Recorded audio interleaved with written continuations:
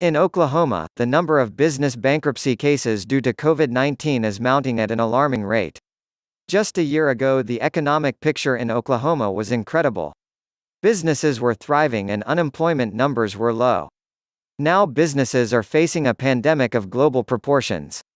A majority of the country is under strict limitations and many businesses have been ordered closed to the public.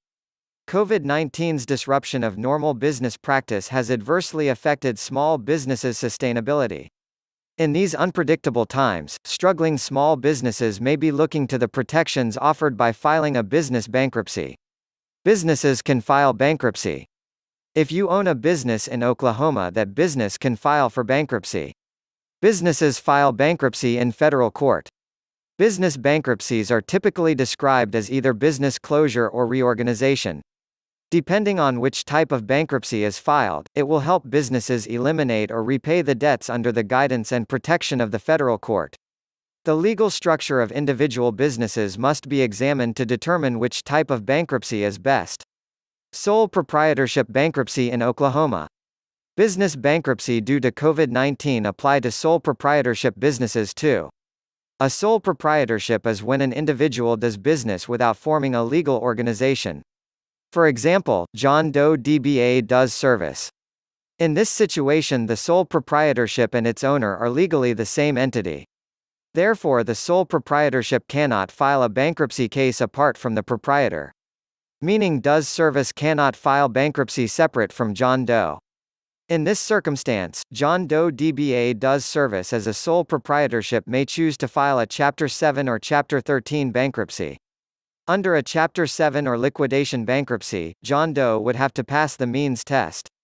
On the other hand, John Doe DBA Doe's Service could file a Chapter 13 reorganization bankruptcy which would allow the proprietorship to stay in business and repay its debts. Other businesses and Oklahoma bankruptcy. When a legal organization is formed things are different. Partnerships, limited liability companies and corporations are treated as separate and distinct entities from their owners. This means that the organizations themselves can file for bankruptcy protection under Chapter 7 or Chapter 11. A Chapter 7 bankruptcy may be the best choice if the business has little to no assets and no viable future. Under Chapter 7 the organization will be liquidated and no longer do business.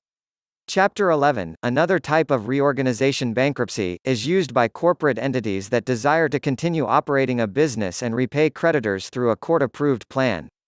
Contact our business bankruptcy attorneys near you. Business bankruptcy due to COVID-19 are increasing at a startling pace.